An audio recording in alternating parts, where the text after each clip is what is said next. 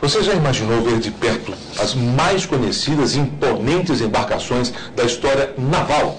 Bem, isso é possível na mostra Navios e História, que comemora os 40 anos da Sociedade Amigos da Marinha do Ceará.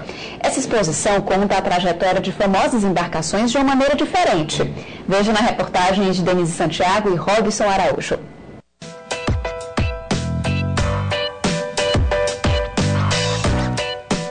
Navegar pelo mundo das embarcações que fizeram parte da história naval.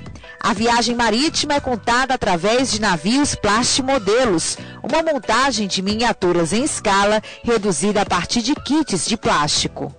E o responsável por toda a produção dessas embarcações é o plastimodelista Marcelo Araripe. Marcelo, conta pra gente como foi esse processo de produção das sete embarcações.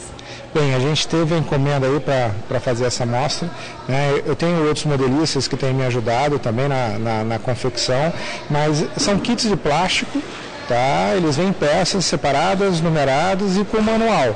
Então a gente segue o manual e monta peça por peça, detalhe por detalhe, e aí depois faz a pintura e acabamento, até chegar no que vocês estão vendo na mostra. A paixão pelo plástico modelismo começou quando tinha apenas 8 anos de idade. Com o tempo, Marcelo foi se aperfeiçoando. A produção na montagem das embarcações era inspirada nas histórias de cada época pesquisada pelo plástico modelista.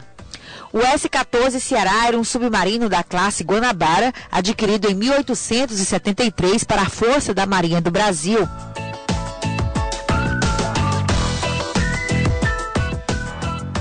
O Titanic, considerado o navio mais famoso da história marítima, também está inserido na mostra. A maior embarcação produzida em 1912 saiu da Inglaterra com destino a Nova York. No dia 14 de abril do mesmo ano que foi produzido, o navio bateu em um iceberg, causando a maior tragédia da história.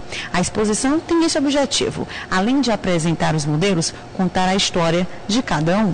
A gente tentou trazer, encaixar as embarcações cada uma num determinado mês. Então, o Titanic que está aqui atrás foi o nosso navio do mês de abril porque o acidente dele aconteceu em abril de 1912.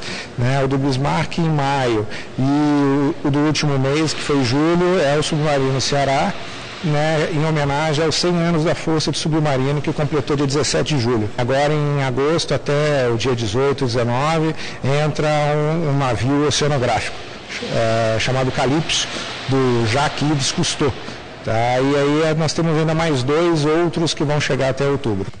A mostra faz parte da programação de 40 anos da Sociedade Amigos da Marinha do Ceará. O objetivo principal é difundir a mentalidade marítima né, levar ao público e fazer com que as pessoas entendam a importância né, do, dos mares, dos rios e, do, e, ajudar no relacionamento também com a Marinha. Tá? Então a gente, digamos assim, é o braço civil da, da Marinha. São, são civis, alguns militares, né, condecorados com a medalha Amigo da Marinha, que se associaram. Quem gostou pode ter a oportunidade de se aprofundar no contexto e na estrutura de cada embarcação. A organização já planeja uma oficina de montagem e pintura de navios.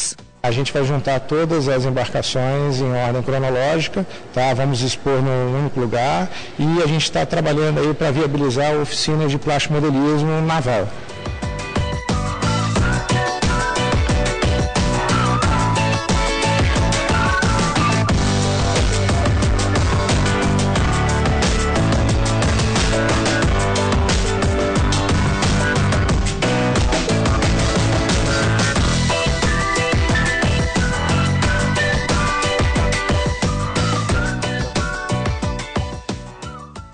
Mostra Navios e História pode ser visitada até outubro no pátio Dom Luiz.